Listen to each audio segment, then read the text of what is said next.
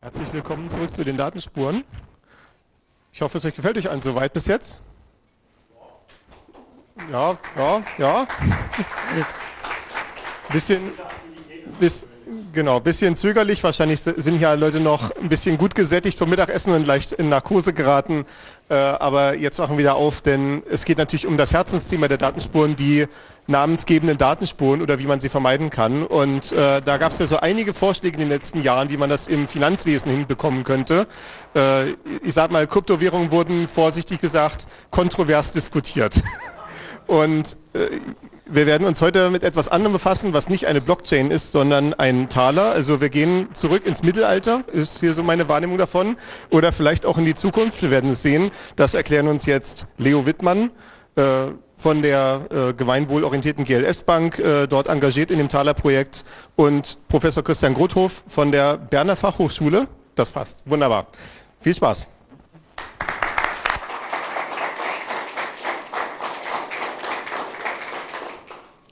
Ja, vielen Dank für die nette Einleitung. Ähm, schön, dass ihr es hier zu uns hochgeschafft habt. Vielleicht mal so als kurzes Stimmungsbild, wie viele von euch denn schon mit spurlos bezahlt haben?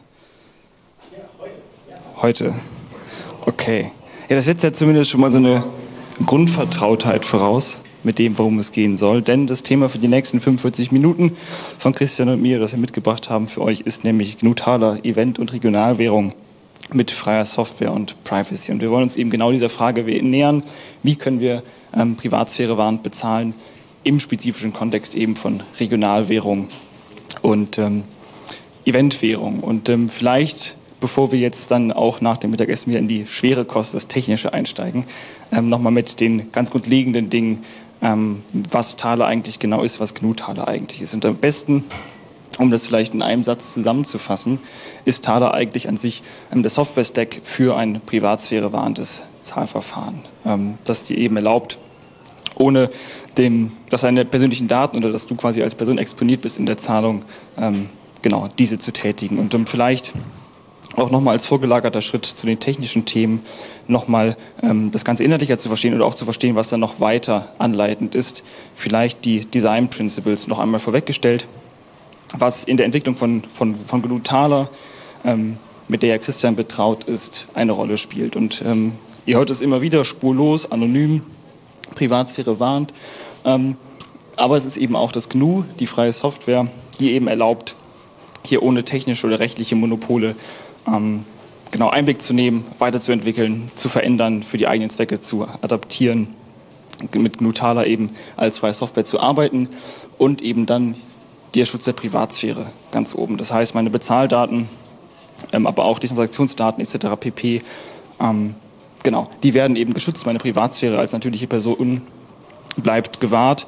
Und ähm, das ist auch das vielleicht, was dann in der Überprüfbarkeit die, die Spiegelseite findet. Also ich bin als, auf der einen Seite als private Person anonym, trete ich aber als juristische Person auf oder als Unternehmen, als Zahlung empfangende Partei dann ist es ganz auf einmal überprüfbar. Das heißt, da verlassen wir dann den Bereich der Anonymität. Ich bin genau mit meinen Transaktionen dann ähm, offengelegt und ähm, aus vielerlei Gründen ist es sinnvoll. Zum einen eben, um eine ähm, Versteuerbarkeit herzustellen, aber eben auch, um gegen Geldwäsche etc. vorzugehen. Und das ist auch dann der Punkt, an der eben im Zahlungsbetrug Unterbinden Anwendung findet. Das System ist eben so ausgestaltet, ähm, dass eben das möglichst vermieden wird. Ähm, sollten personenbezogene Daten erhoben werden, sollten die irgendwo anfallen, dann gilt hier wieder die Maxime, dass die doch bitte minimiert sind, beziehungsweise wenn sie eben nicht mehr gebraucht werden, gelöscht werden, Minimierung von notwendigen Daten und auch Benutzerfreundlichkeit, Nutzerfreundlichkeit, das zu maximieren. Zum einen eben für die EndnutzerInnen, für euch, die wir damit bezahlen, aber eben auch für EntwicklerInnen, die das Ganze dann in etwaige andere Systeme integrieren, dass das eben niedrigschwellig ist und dann eben auch niedrigschwellig im Sinne von einer Barrierefreiheit der digitalen Lösung, dass eben NutzerInnen ähm, unabhängig ihrer Voraussetzungen GNU Taler gut verwenden können. Das, was auch dann vielleicht die Abgrenzung nochmal klarer macht zu ähm, Blockchain-basierten Lösungen oder auch zur ganz klassischen Welt des Bezahlens, ist die Effizienz des Protokolls bei Thaler und die dann eben auch hier in dem, in dem Design Principle der Effizienz ähm, Berücksichtigung findet. Ähm, das hat dann zum einen ganz praktische Gründe, dass die Transaktionsraten ähm, relativ kostengünstig hoch zu bekommen sind, aber eben auch deswegen dann Kosten minimieren, beziehungsweise überhaupt erst gewisse Transaktionen wirtschaftlich abbildbar sind. Das heißt, Micropayments bei Tal aufgrund der Effizienz erstmalig in einem Bezahlverfahren funktionieren und dann hohe Ausfallsicherheit. Das ist relativ selbsterklärend bei einem Zahlverfahren, dass das hoch verfügbar sein sollte. Und genau. Genug Taler, Eventwährung, Regionalwährung, aber das Ganze lässt sich ja auch, auch nochmal größer machen. Und ähm, das ist das, woran wir unter anderem auch unterwegs sind mit dem NGI Taler Projekt. Da das Ziel, abseits von Regionalwährung oder abseits von Events, ähm, GNU ähm, ja, als, als Zahlverfahren in der breiteren Masse verfügbar zu machen. Da sind wir im Rahmen des NGI Taler Projektes zugange. NGI Taler hier stehen für Next Generation Internet. Das ist erstmal nur ein Fördervehikel der Europäischen Kommission das Ganze ist eben finanziert von der Europäischen Kommission, eben hier Privatsphäre warnende Zahlungen europaweit in der Eurozone, in Ungarn, in der Schweiz ähm, NutzerInnen verfügbar zu machen. Und daran arbeiten wir mit einem relativ breiten mit einer relativ breiten Gruppe, Christian, nächste Folie, genau. Und ähm, zwar mit elf Parteien Europa ähm, verteilt, Akteure in der Zivilgesellschaft, wie Homo Digitalis aus Griechenland, die GLS Bank oder die Magnet Bank aus Ungarn, ähm, aber auch die Universitäten, oder zum Beispiel E-Seniors, die sich für eine Barrierefreiheit im Digitalen eben auch einsetzen. Das vielleicht so als Hintergrund. Es gibt GNU Thaler, die Design Principles. Was ist GNU Thaler? Es gibt das NGI Thaler Projekt, das sich darum einsetzt, Thaler als Zahlverfahren in der breiten Masse verfügbar zu machen. Next, please. Aber es gibt eben auch die Möglichkeit, den Software-Stack GNU Thaler eben auch anders zum Einsatz zu bringen. Und das ist eben das, worum es jetzt gleich nochmal verstärkt gehen soll, nämlich um die Anwendung im regionalen Zusammenhang für Events. Und da stellt sich, oder zumindest mir mit meinem Hintergrund, ich weiß nicht, wie es euch geht, auch schnell die Frage nach der, der Regulierung.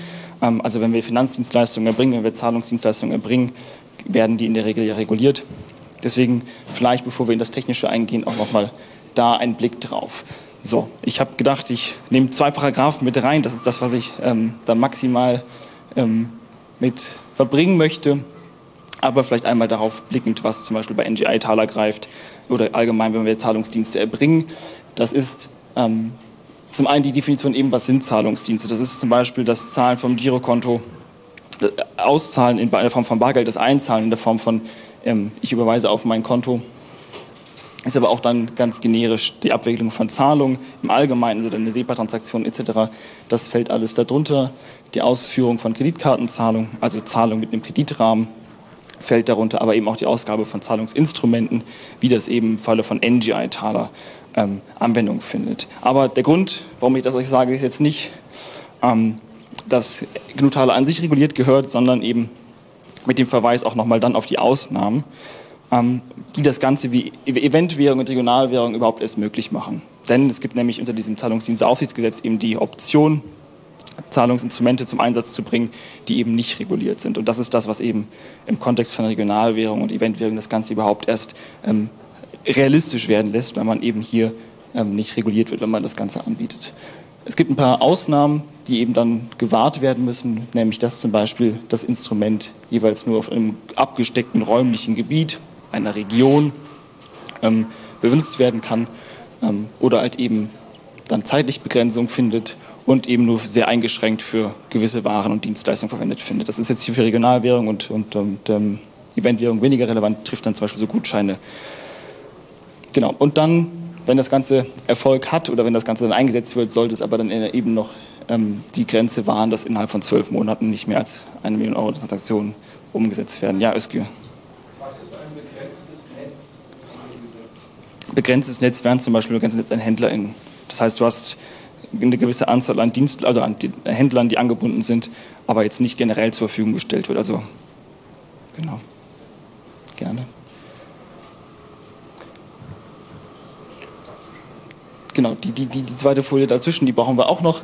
Ähm, genau, wenn man dann das Ganze regional begrenzt oder eben auch zeitlich begrenzt anbietet, gibt es noch weitere Anforderungen, die dann greifen, nämlich dass pro Kunde, ähm, pro Event oder pro Nutzerin vielmehr pro Event die Grenze von 250 Euro nicht überschritten wird. Das heißt, da in den, in den, in den Volumina, in denen man sich bewegt, eingeschränkt ist. Ähm, genau, das gleiche greift dann auch für das Instrument, mit dem ich arbeite, in unserem Fall eben die Wallet ähm, und auch im Falle von Peer-to-Peer-Zahlung, also in dem Moment, wo ich zum Beispiel Christian Geld übertrage und das nicht nutze direkt zum Bezahlen von Getränken oder Essen, Das ist eben auch zu gewährleisten. Und das Ganze sollte nicht gegen Bargeld ausgezahlt werden und Verzinsung sollte nicht stattfinden. Aber genau, das nur als Grundlegendes nochmal. Und auch der Hinweis, Ausnahmen, ob dieser Regelung oder wenn man diese Regelung eben nicht einhält, sind dringlichst mit der BaFin abzustimmen vorher. Und das auch nochmal der Hinweis hier. Das ist jetzt hier keine conclusive List all der Themen, die irgendwie relevant sind beim Betreiben von Zahlinstrumenten. Das ist ja auch hier keine Rechtsberatung. Deswegen vielleicht, wenn ihr daran gedenkt, das Ganze für euch selbst umzusetzen, ihr angehalten seid, den Rahmen für euch selber einmal abzuchecken. Ähm, genau, dass man da nicht in regulatorische ähm, ja, Fallen tritt. Was braucht man darüber hinaus? Ähm, Regulatorik verstehen, Ausnahmen beachten, die anderen Anforderungen auch beachten. Jetzt ist die Frage, wie, verwendet, wie wird das verwendet, wenn man tatsächlich als zum Beispiel Datenspuren Taler anbinden möchte. Und dann stellt sich zum einen die Frage nochmal, wie sollen denn dann die NutzerInnen das Ganze aufladen können? Ähm, hier bedarf es eines Zahlungskontos. Wir haben ja die zwei Optionen, entweder gegen Bargeld oder eben gegenüber die Sofortüberweisung. Und die Sofortüberweisung macht dann eben Zahlungskonto bei einer Bank. Ähm, das zur Voraussetzung, ähm, auch mit den notwendigen technischen Schnittstellen, damit eben die Überweisung zugeordnet werden kann zu dem Guthaben. Aber das ist so ein bisschen das Pferd von hinten aufzusatteln, Christian, denn wir haben ja noch gar nicht über die eigentlichen technischen Voraussetzungen gesprochen. Und das ist jetzt das, wo du zum Einsatz kommst. Erklär uns doch mal, wie Thaler eigentlich funktioniert. Gut. Ich fange mal an mit meinem erweiterten Dreieck. Es ist keine Angst, es gibt noch viel mehr. Ähm, also ganz High Level haben wir die Exchange, das ist der Bezahldienstleister, das sind hier die Datenspuren, das ist das, was die Organisation betreibt. Die Exchange signiert digitale Münzen, das ist der Herausgeber der Münzen, der Betreiber der Exchange ist dann verantwortlich für den Gegenwert. Die landen dann bei euch in euren Wallets auf den verschiedenen Telefonen. Ja, es gibt auch eine Kommandozeile, wurde eine Eröffnung nicht angekündigt. Ich weiß nicht warum, eigentlich das Wichtigste. Ne? Ähm, dann kann man das Geld ausgeben. Äh, wir haben hier als Merchant ist immer nur der Empfänger des Geldes. Das kann auch wieder ein anderes Wallet sein, wie ihr vielleicht mitbekommen habt inzwischen. Ähm, für den Merchant, da gibt es ein Merchant Backend. Wenn man das daran überweist, geht es automatisch wieder auf ein Bankkonto. Aber auf jeden Fall muss der Empfänger, wer das auch mal ist, dann zur Exchange hingehen und sagen, hey, ich habe hier eine Münze bekommen, ist die echt? Und zwar echt nicht nur im Sinne von, hat die eine richtige Signatur drauf, sondern auch, ist sie schon mal ausgegeben worden, weil wir können alle kopieren. Ja, ich weiß, das muss man der EZB noch erst sagen, aber äh, wir können kopieren und deswegen ist die Münze nur so lange echt, wie sie noch nicht ausgegeben wurde. Und bei der Exchange gibt es dann eben eine Datenbank, wo man reinschreibt, die wurde ausgegeben. Und beim Abhebevorgang haben wir die Münzen blind signiert. Das heißt, wir haben nicht gelernt, welche Münzen wir in Umlauf gebracht haben. Aber hier kriegen wir es dann eben mit. Aha, diese Münze, ich sehe sie zum ersten Mal. Okay, dann ist sie gut, wenn sie die richtige Signatur hat. Äh, wenn ich sie zum zweiten Mal sehe, sage ich, äh, du hast sie schon mal ausgegeben für was anderes. Äh, kann ich dann auch nachweisen, für was? Und dann will ich den Bezahlvorgang ablehnen und sagt der Händler dir, hast du vielleicht vom Backup restauriert oder sowas?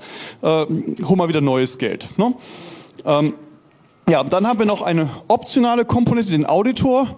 Äh, ihr habt alle das mitbekommen, es gibt diese Banken wie Wirecard und so weiter. Ja, und ähm, wir haben irgendwie gedacht, einfach zu sagen, die kann man vertrauen. Äh, bei den Datenspuren vielleicht, ja, aber äh, wenn dann nicht tausend, sondern ein paar Millionen im Umlauf sind, ist es vielleicht ganz gut, wenn mal jemand drüber guckt. Und da wir hier auch noch elektronische Signaturen als Beweise sammeln, können wir eigentlich in Echtzeit die Signatur nochmal nachrechnen. Ja, replizieren das einfach die Datenbank, gucken uns die Kontostände an und sagen dann, jawohl, das passt. Ja, das ist der Auditor. Äh, aber das ist optional, wenn man das als Regionalwährung macht, ist es vielleicht übertrieben oder so als gerade als Eventwährung, aber ist eben da im Konzept. Machen wir weiter. So, wie, wie läuft das jetzt? Also der Kunde fängt an, installiert sich sein Wallet und geht dann zu seiner Bank. Ähm, das kann auch jemand hier sein, der ein Bankkonto hat und Bargeld annimmt und gibt dem Geld und sagt dann der Bank zum Beispiel, macht eine Echtzeitüberweisung auf das Konto, wo dann das Geld liegt, in diesem Fall bei den Datenspuren bei der GLS Bank. Die sagt dann der Exchange, hey, ich habe da Geld bekommen von diesem Wallet. Das Wallet wird über einen Public Key identifiziert, deswegen dieser tolle Betreff. Ähm, und dann kriegt das Wallet die digitalen Münzen blind signiert ausgestellt. Ja, kann man dann ausgeben beim Händler, der reicht sie ein und das wird dann wieder auf das Konto des Händlers dann gut geschrieben am Ende. Das wird nicht, passiert nicht bei jeder Transaktion, die können erst noch gebündelt werden, dass man die erst addiert über einen Tag, über eine Woche, über einen Monat. Wenn man das bei einem Event dann falsch einstellt, fragt man sich, wieso wird kein Geld überwiesen? Ach, hast du die Deadline für in einem Monat gesetzt? ja, aber äh, ist eben konfigurierbar, wie häufig diese Wire-Transfers passieren sollen, weil die im Kernbankensystem ja gegebenenfalls wieder Gebühren kosten könnten. Die Gebühren hier unten kann man auch welche einstellen, bei Events eben häufig dann auf Null. Äh, die technischen Gebühren, naja, kryptografische Signaturverifizierung, was in die Datenbank schreiben, ist so ein Tausendstel von einem Cent. Insofern, was man an Gebühren einstellt, ist eigentlich den Profit, den man gerne machen möchte. So, weiter. Ja, jetzt nochmal zu den Komponenten. Die Exchange sieht so harmlos aus. Man braucht mindestens eine pro Währung. Da haben wir dann ein REST-API, wo man dann mit interagieren kann. Ist natürlich spezifiziert. Ähm, die Exchange hat dann noch weitere Hilfsprozesse, die sowas machen wie Transaktionen aggregieren, gucken eingehende Transaktionen aufs Bankkonto, ausgehende Transaktionen aufs Bankkonto und so weiter. Ähm, es gibt dann die Möglichkeit, da auch KYC-Support einzudocken, also Know Your Customer. Wenn Banken Kunden identifizieren müssen, machen sie einen KYC-Prozess. Bitte mal EID vorzeigen, Adresse verifizieren, DNA-Probe hinterlassen, was auch immer. Äh, da können wir das über OAuth 2, das kennt ihr, als allgemeines Protokoll machen. Also wenn man einen OAuth 2-Dienst hat, kann man das darüber einbinden oder eben auch proprietäre APIs einbinden, die so einen KYC-Prozess durchführen, wenn notwendig. Ähm, und dann haben wir noch Single-Page-Apps, also Web-Anwendungen, die entweder für äh, die Bank dann da sind, dass die eben ihre Geldwäscheprozesse machen kann oder Anti-Geldwäscheprozesse machen kann, äh, beziehungsweise der Kunde diesen KYC-Prozess durchführen kann. Weiter? Ja, also wenn das so ein Ding läuft, sieht das eben so aus, wir haben den eigentlichen Webdienst, wir haben ein paar Hilfsprozesse, die Krypto-Keys verwalten, wir haben unsere Datenbank, ja, Hilfsprozesse und dann die Anwendung an das Kernbankensystem über diese äh, Komponente hier Nexus. Weiter. Ja, dann haben wir das Wallet. Äh, das ist ein etwas älterer Screenshot äh, mit noch Bitcoins drauf. Habt ihr ja auch schon gesehen, hoffe ich. Das Wallet gibt es für Android, F-Droid, Web Extension, iOS. Wir haben jetzt festgestellt, es läuft auch noch auf Ubuntu Touch. Ja. Ähm, äh, die Wallets haben alle die gleiche Kernlogik. Die ist einmal in TypeScript geschrieben und dann haben die verschiedenen nativen Nutzeroberflächen nutzen die gleiche Kernlogik. Ähm, jedes Wallet ist schon gleich multi-currency-fähig. Wir haben diese Kudos-Demo-Währung, Event-Währung, Euros, Franken, was auch immer. Ja, und äh, kann eben auch Wallet-to-Wallet-Payments äh, auf den neuesten iPhones auch per NFC. Danke Europäische Kommission für den Digital Markets Act. Ja, äh, geht nur in, in der Europa, äh, also EU, aber okay. Ja, die Wallets haben auch schon Integrationsmöglichkeiten mit anderen Apps. Man kann also zum Beispiel mit Android Intense auf, mit den Wallet interagieren, sagen, hey, ich habe hier einen Bezahlvorgang, frag mal den Kunden, ob er bezahlen möchte und solche Sachen geht es auch schon. Ja, weiter. So, Auditor. Ja, das ist jetzt eben die Komponente, die die Exchange überwacht, die kriegt eine Datenbank von der Exchange gemirrort, hat dann verschiedene Hilfsprozesse, die eben Signaturen prüfen. Die Wire-Hilfsprozesse reden dann mit der Bank und gucken auch, ob die Transaktionen, die behauptet sind, dass die durchgeführt wurden, auch da sind und die Balance passt. Äh, der Auditor hat dann auch ein REST-Frontend. Auf der einen Seite können die Merchants darüber Sachen an den Auditor melden und auf der anderen Seite haben wir eine Webanwendung, die uns dann anzeigt in Echtzeit, wenn irgendwas schief geht. Ja, dass man sozusagen auch dann einfach nur da einen Blick drauf werfen kann sagen kann, okay, ist das alles in Ordnung. Weiter? Ja, dann zur Bankanbindung gibt es diese Lexus-Komponente. Nexus spricht das EBIX-Protokoll. EBIX ist ein europäischer Standard, mit dem man Banktransaktionen sich herunterladen kann. Das ist der Nachfolger vom Home Banking Computing Interface was so vor diesen Webinterfaces man mal hatte, um auf Bankkonten zuzugreifen. Da kann man sich dann einfach wesentlich seine Transaktionshistorie runterladen und Transaktionen, die man ausführen möchte, hochladen zur Bank. Ähm, wir können da jetzt auch Instant SEPA inzwischen, das funktioniert mit der GLS Bank, mit der Postfinanz in der Schweiz, ähm, mit verschiedenen Währungen, aber jede na, viele Banken machen da ihre eigenen kleinen Variationen von EBIX. Insofern geht nicht davon aus, ach, ich habe da noch eine weitere Bank, die sagt, sie macht EBIX. Äh, das klappt nicht immer automatisch. Äh, wir haben nicht nur festgestellt, es gibt Länderdialekte wie Schweiz und Deutschland. Es gibt dann auch den Bankendialekt. und dann gibt es so die speziellen Banken, wie zum Beispiel die Postfinanz, die hat eine Sandbox. Die implementiert EBIX anders als ihr Produktionssystem. Ja, sehr gut. Ja, äh, und äh, es gibt dann auch wieder die Implementierung von dem eigentlichen Standard, die dann vom Standard abweichen. Also da muss man, auch, muss man gut testen, bevor man sagt, okay, das klappt mit der Bank. Weiter? So, äh, normalerweise, wenn man eben eine richtige Bank dahinter hat, ist das schön, aber wenn man eine Regionalwährung hat, braucht man seine eigene Bank. Dafür haben wir die LippEUFin Bank, die nutzen wir auch für unsere Demo-Zwecke. Das ist dann sozusagen abgekapselt, dann kann ich meine eigene Währung komplett da erzeugen. Das ist wie ich betreibe meine eigene Zentralbank, mein eigenes Kernbankensystem. Oder als Regionalwährung wird es dann eben an die was weiß ich, Euros angedockt und dann machen wir eine Konvertierung von Euros an spurlos. Ja, äh, da kann man dann eben sich auch Bankkonten in der Regionalwährung klicken und kann die Exchange an dieses Regionalwährungsbank dann dran docken. Weiter. Ja, wenn man sowas hat, ab und zu ist es ganz hilfreich, nicht das mit der Web-App zu machen. Wir haben auch eine Cashier-App, die läuft nur auf Android. Da kann ich dann, wenn ich ein Konto bei dieser Regionalwährungsbank habe, einfach sagen, okay, da kommt jemand zu mir, möchte gerne 5 Euro konvertieren. Ich nehme das Bargeld an, kriege den QR-Code, Handy einscannen ne, und dann hat man das Geld auf dem Telefon. Next. Ja, wir haben es noch ein bisschen übertrieben. Gerade jetzt hat ein Bachelor schon also eine Arbeit gemacht, äh, Integration mit Volley. Das ist so eine Android-Variante mit einer Kreditkarten- oder Kartenannahmefunktion. Das funktioniert mit Wind, mit Kreditkarten, Debitkarten und so weiter. Wenn man da einen entsprechenden Provider hat, kann man dann wirklich mit der Karte ja, direkt sein Thaler Wallet aufladen. Braucht aber einen Bezahldienstleister, der Karten annimmt ja, und die machen das normalerweise nur mit einem Business und das dauert. Wir haben irgendwie so ein halbes Jahr gebraucht, um den Provider freizuschalten äh, für unser Deployment. Ist etwas aufwendiger, aber wenn man jetzt sagt, ich habe da Leute, die kommen mit Karte und nicht mit Bargeld und wollen trotzdem in die Regionalwährung rein, auch dafür gibt es eine Lösung inzwischen mit dem Cashless to eCash. Ja, wenn ihr sagt, ich möchte mein eigenes KYC machen, Adressverifikation, sei es E-Mail-Adresse, Telefonadresse oder physische Adresse, gibt es den Challenger. Das ist einfach eine OAuth2-Implementierung, der diese KYC-Dienstleistung machen kann. Dann haben wir für die Freunde der Blockchain äh, die Depolymerization-Komponente. LibUFIN bindet uns eben ans Bankensystem an. Die Polymerizer bindet uns an Bitcoin oder Ethereum an. Falls also jemand Bitcoin oder Ethereum mal wirklich tokenisieren möchte ja, und Datenschutz hinzufügen möchte, kann er das mit dem Depolymerizer machen. Ähm, ich empfehle das rechtlich aus Russland zu tun. Oder Nordkorea könnte auch gehen. Ja, ansonsten könnte es sein, dass die BaFin klopft. Ja. Gut, für die Händler haben wir das Händler-Backend. Da läuft sozusagen die Krypto für den Händler. Der hat auch wieder eine äh, Restoberfläche, wo er das administrieren kann, Bankkonten hinzufügen kann, Produkte hinzufügen kann, Inventar managen kann, die Orders sehen kann. Er kann dann Refunds geben, er kann diese QR-Codes generieren mit Templates, die ihr hier als überall rumfliegen seht. Bitte Spende an, bitte Essen bezahlen und so weiter. All das geht mit diesem Backend.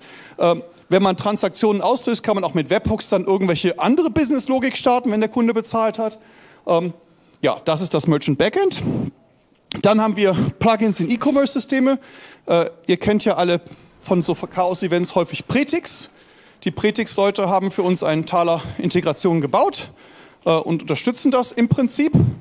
Müsste nur ein Event geben, das Pretix nutzt und Taler, dann können wir das nutzen. Ja. Äh, es gibt auch ein WooCommerce-Plugin für die äh, WordPress-Nutzer. Weiter. Es gibt ein Joomla-Plugin, das ist noch so eine E-Commerce-Plattform. Weiter.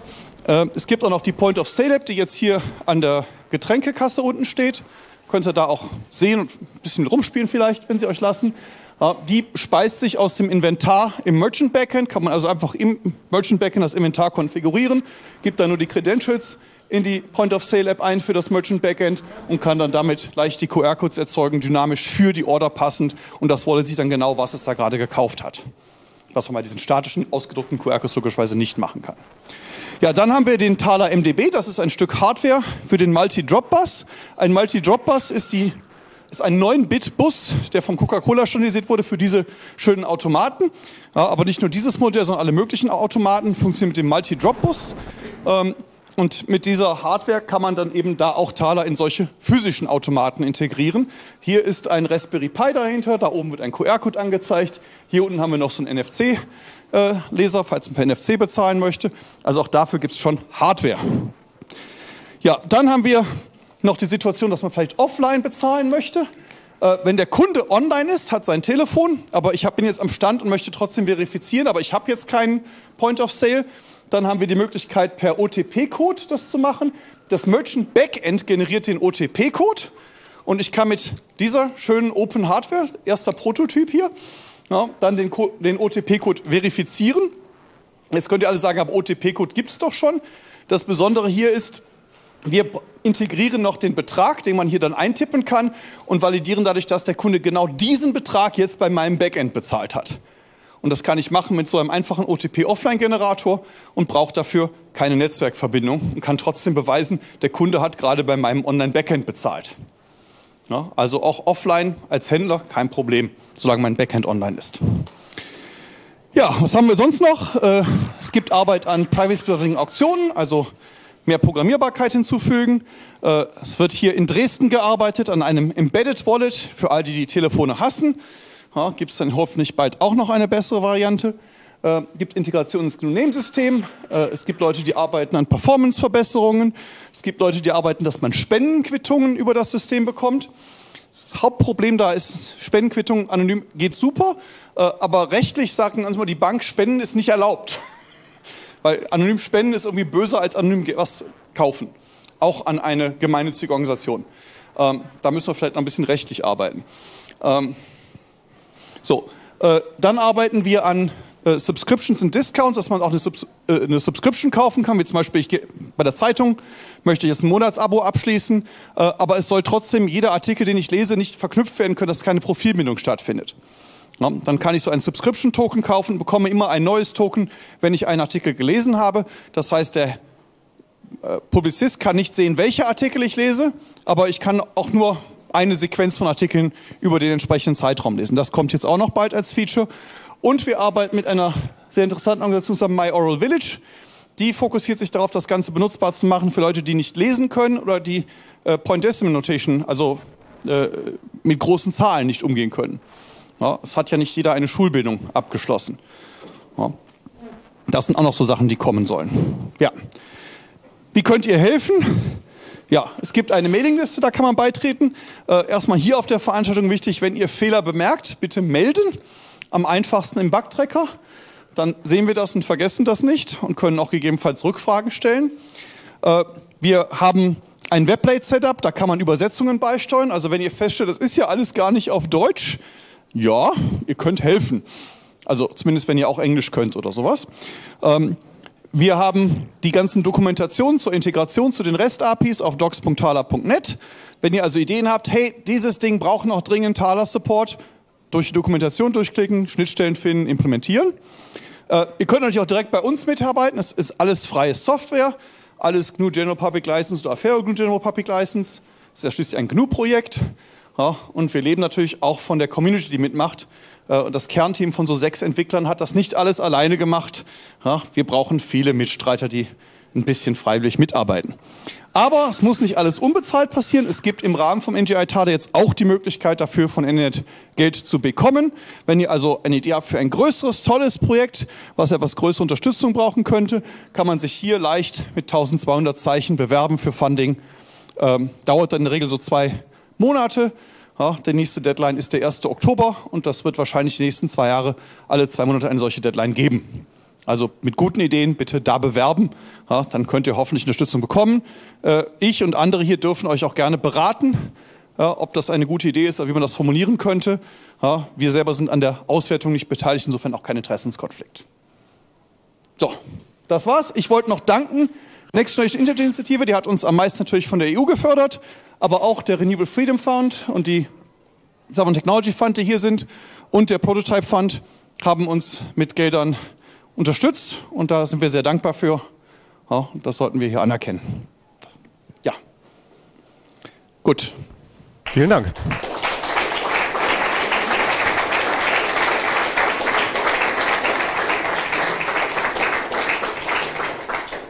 Ich sehe hier bereits die erste Frage. Ja, Egal. Ähm, wenn man so eine großartige Sache programmiert und implementiert, äh, ist natürlich immer die Frage sozusagen, wie aussichtsreich ist das, dass das sozusagen mal wirklich startet. Und da würde mich eure Einschätzung interessieren. Also wirklich startet gibt es jetzt zwei Variationen. Das eine ist so wirklich durchstartet.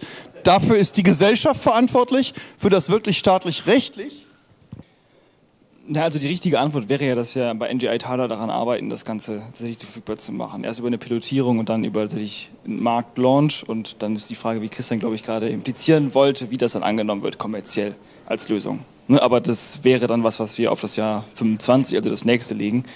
und deswegen eigentlich die Budgetierung absehbar ist. Aber da habt ihr zumindest so eine Hoffnung oder so eine Einschätzung. So ich würde nächsten Sommer davon ausgehen, dass es dann in Betrieb ist. Denkt bitte dran, die Mikrofone zu sprechen, damit das in der Aufzeichnung auch mit drin ist. Äh, also ich, ich würde es vielleicht mal konkretisieren. Hat die EZB schon bei euch angerufen? Äh, ja, aber das war, weil sie nicht glücklich mit uns waren, weil wir einen Verriss geschrieben hatten über einen ihrer Artikel.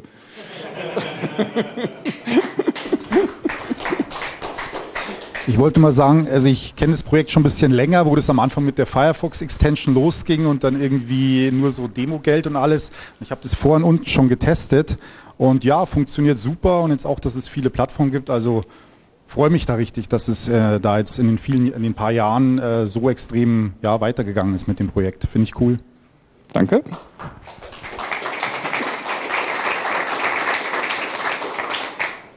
Weitere Wortmeldungen?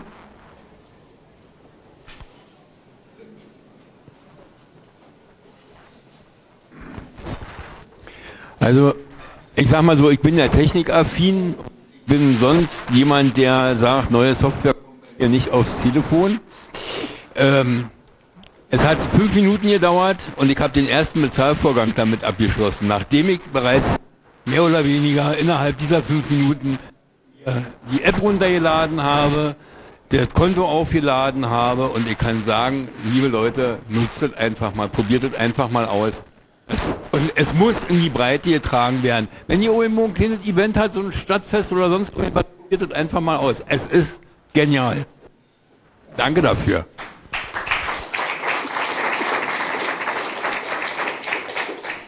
Übrigens Zwischenbemerkung, das Mikrofon kratzt leider ein bisschen. Das ist der Grund, warum sich die Vortragenden ein Mikrofon geteilt haben. Sorry dafür.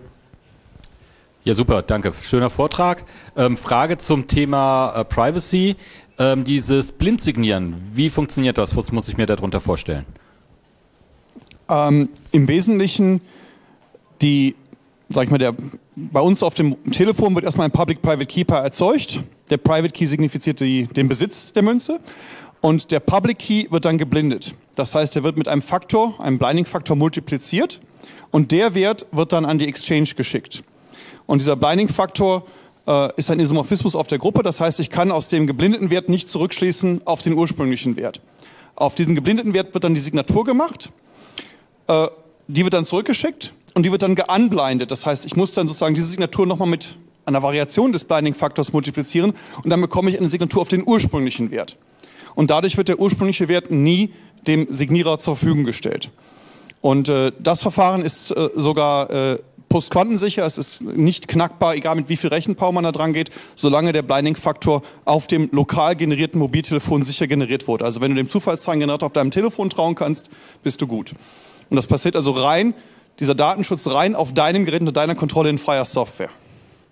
Brauchst dich also nicht darauf verlassen, dass die Exchange da irgendwas korrekt macht. Gut? Super.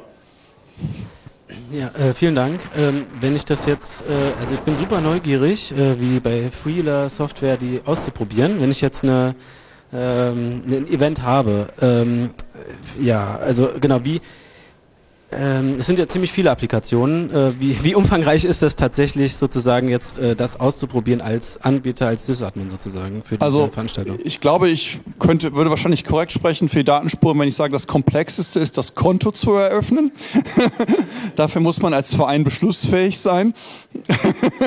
da hatte auch die WUPLUG schon Spaß mit. Ähm, wenn man also ein Konto bei der GLS dafür eröffnet bekommt, ist man schon, sage ich mal, 90 Prozent fertig. Äh, der Rest ist äh, Debian oder Ubuntu-Server installieren. Wir haben dann ein Shell-Skript, das steht dann so ein paar Fragen wie, wie, wie soll deine Währung heißen? Dann tippt man sowas ein wie spurlos. Ja, oder wie ist dein Domainname? Dann sagt man taler.datenspuren.de. Ja, möchtest du ein Let's Encrypt-Zertifikat, ja oder nein? Und wenn man diese Fragen beantwortet bekommt, hat man danach eigentlich ein laufendes System auf der Serverseite. Äh, da muss man dann natürlich noch mit den Web-Apps ein bisschen rumspielen, dass man ein paar Accounts anlegt, vielleicht die Cache rausgeben können, ja, im Händler-Backend dann irgendwie das Inventar programmieren, aber das dann durch Webseiten sich durchklicken. Aber wenn Mikolai dazu was sagen möchte aus persönlicher Erfahrung, nein, er hat nichts dazu hinzuzufügen. Äh, wie gesagt, das Hauptproblem ist, glaube ich, rechtzeitig das Bankkonto beantragen. Das geht nicht innerhalb von weniger Tage. Und äh, es ist auch nicht der absolute Standard-Business-Prozess. Insofern seid lieb mit den Bankern und versucht das ein paar Monate vorher. Das wäre die Hauptanforderung. Ansonsten würde ich mir in dieser Gruppe keine Sorgen machen, dass sie das technisch nicht hinbekommt. Und last but not least, wenn ihr Unterstützung braucht, sind wir natürlich gerne bereit, euch zu unterstützen. Äh, erst natürlich im Rahmen von Community Support, soweit wir das können. Äh, aber wir haben eben auch diese Firma gegründet. Das heißt, wenn ihr zu viel Geld habt, könnt ihr uns auch dafür bezahlen. Weitere Fragen?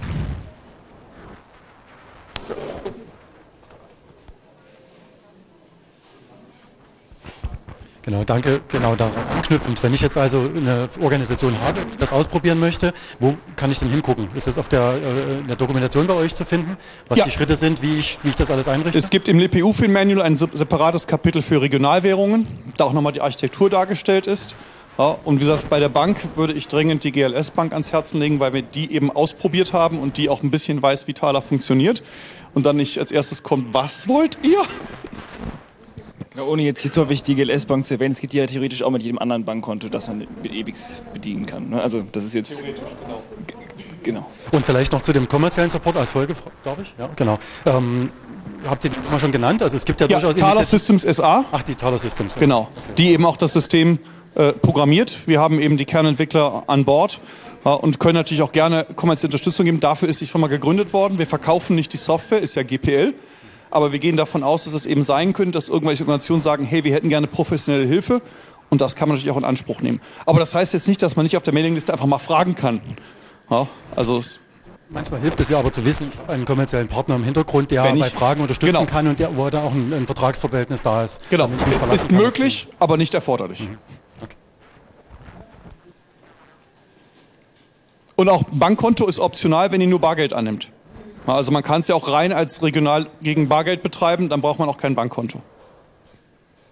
Hallo, ähm, ich bin Ötsch, ich bin auch Teil von dem Konsortium hier. Ich wollte eine Info noch mitgeben. Ähm, leider hat äh, Christian eine wichtige URL unterschlagen, die noch hingehört. Aber wenn ihr auf der Thaler, auf der äh, Online-Dokumentation nachguckt, ähm, nee, nee, auf der URL-Seite, wenn man da drückt. Ja, ja. Genau, da fehlt noch eine. Wenn ihr zum Beispiel auf Docs Thaler geht und dort unsere Dokumentation euch anseht und feststellt, da kaum was, weil die nämlich überwältigend ist. Die ist umfangreich, weil so viele Komponenten daran beteiligt sind. Es gibt dann einen Link, der auf ein auf unser Forum, unser Online-Forum, das ich.thaler.de. Dort könnt ihr eure Hinweise, Fragen, Dokumentation dann stellen. Darauf wollte ich noch hinweisen. Da könnt ihr dann interaktiv auch dann, äh, ähm, über Probleme, zum Beispiel was die Doku alleine angeht, äh, sprechen. Wollte ich die Gelegenheit nutzen. Sehr gut. Weitere Fragen? Ja.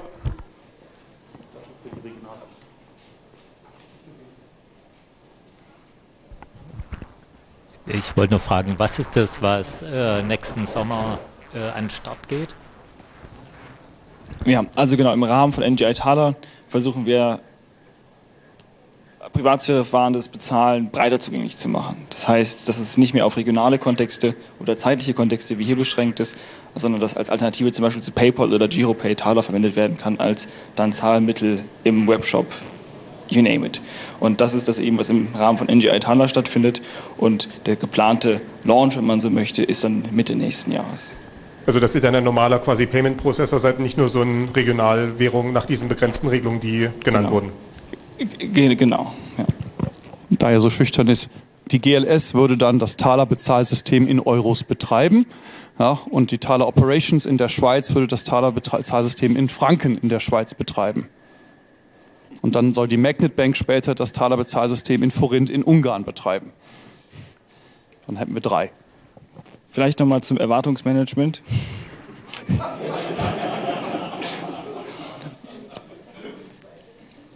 Das Ganze wird ja zur Marktreife geführt. So, das heißt, wir, wir sorgen gerade dafür, dass neben dem, was technisch funktioniert, dass auch dann das aufsichtsrechtlich alles in, in sauberen Tüchern ist und dann in trockenen Tüchern ist und ähm, business ready ist. Und das heißt, wir ab Mitte nächsten Jahres uns daran machen, Thaler als neues Zahlverfahren zu etablieren. Also weil der Hintergrund ist ja, wenn man zum Beispiel Kreditkarte zahlt, gibt es genug Händler, die Kreditkarten annehmen. Das heißt, wenn ich eine neue Bank bin und Kreditkarten rausgebe, dann kann ich mich auf das Netzwerk setzen, das Kreditkarten annimmt. Bei Thaler ist es so, dass wir das ja dann neu etablieren müssen. Also neues Fahrverfahren, sowohl Privatkundenseitig, also euch alle davon überzeugen müssen, Thaler zu benutzen, aber eben auch HändlerInnen davon überzeugen müssen, dass für sie Thaler eben auch wertstiftend ist. Genau. Und da solltet ihr natürlich alle mithelfen ja, im Business eurem Chef sagen, nimm bitte Taler an, baut das jetzt ein, ich habe das schon integriert, schalt das doch bitte dringend ein. Ja, das ist eben das, wo wir nicht wissen, ob es funktionieren wird, weil da müssen Parteien mitziehen, die wir nicht kontrollieren können. Weitere Fragen?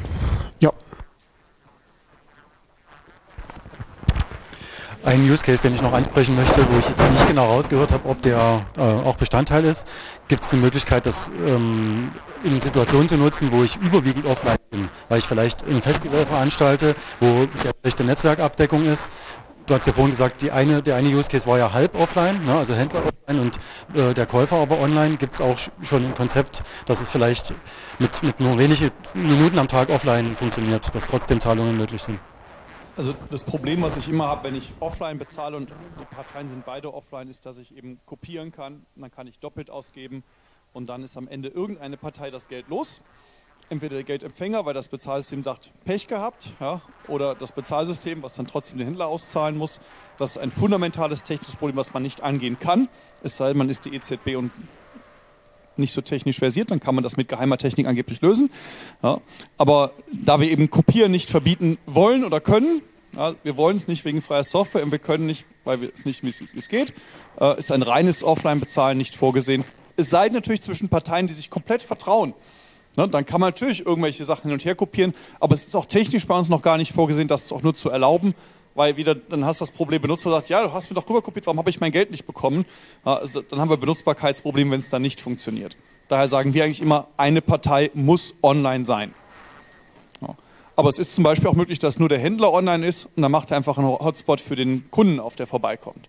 Also unser Snackautomat hat einen eingebauten offenes WLAN. Ja. Genau.